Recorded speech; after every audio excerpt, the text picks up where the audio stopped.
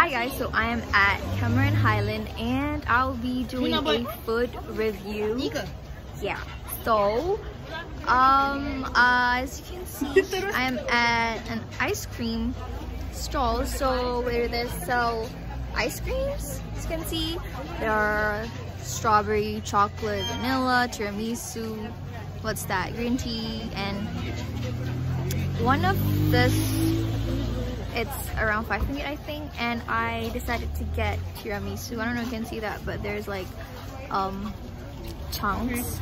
Yeah coffee at the bottom of the ice cream.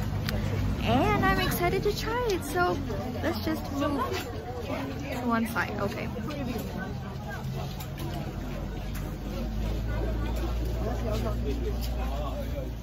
It's really good because I asked the owner the, the seller like two of um, some of the popular ones and she recommended the tiramisu and also strawberry.